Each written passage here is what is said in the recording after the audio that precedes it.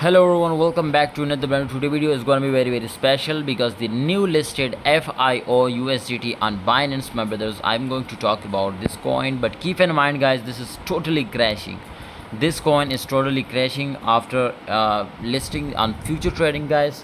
But right now can we need to enter alongside or not? What is the background of fio usdt can more possible this is a weak background.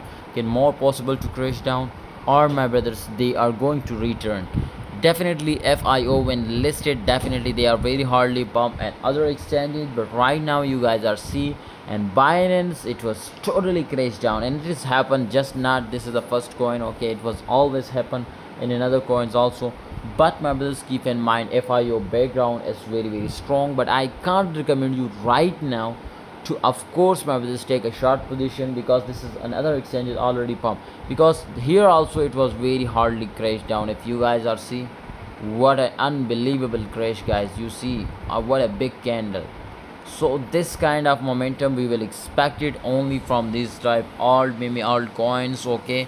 So right now i strongly recommend you to until it was not break out the higher the lowest point of this last candle the highest candle I strongly recommend you to not enter on long side and also a short side. Keep in mind that. Wait for my call on Telegram. I will give you call to enter or not.